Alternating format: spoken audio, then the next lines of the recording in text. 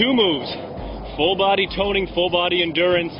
Do each one till failure or for 30 seconds each, take a little break, and then do it again, or just keep doing them right in a row until you just collapse. Then eat a good meal.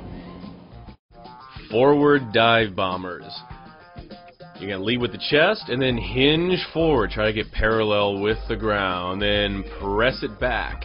Your breathing for this is exhaling as you go forward and then inhale as you go back. If you don't like hinging all the way forward, just lead with the chest and freeze it there and then take it back.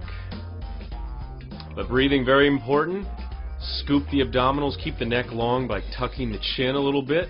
Back of the neck long and lean. Iron out all the wrinkles. Hinging forward. Remember, do this for 30 seconds or until failure. Now, finding an ant hill free spot.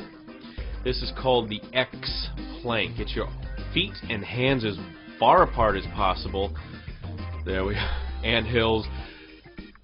That looked interesting. All right, here we are. The abs are tight. The neck is long. Breathe into this pose, my friends. Oh, smiling into the ant hill.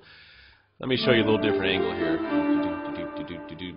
Okay, there we are. Little bend in the elbows, of course. Shoulders back, neck long. Squeeze everything, even your earlobes.